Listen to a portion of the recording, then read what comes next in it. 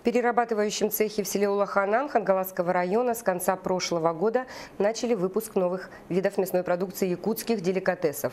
С работой предприятия ознакомилась наш корреспондент Саргалана Ильина.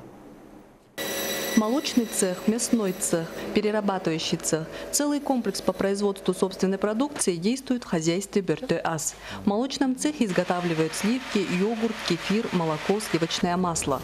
В мясном полуфабрикаты – фарш, котлеты, тефтели, кровяную колбасу, бифстроганов, биточки, потроха. Налажено безотходное производство. Мы ничего не выбрасываем, все э, перерабатываем, все э, субпродукты моем и выпускаем уже в готовом виде. С ног вот э, делаем наборы для холодца, э, лытки тоже э, в продажу идет. Двухэтажное здание убойного цеха уже начало свою работу. Для полноценного функционирования ждут еще дополнительное оборудование. Здесь же расположен перерабатывающий цех, где сразу после забоя и разделки готовятся полуфабрикаты. В ноябре начат выпуск новых видов мясной продукции – якутских традиционных деликатесов. Печень с косой два раза в неделю по 10 килограмм. И вот так упаковываем, замораживаем.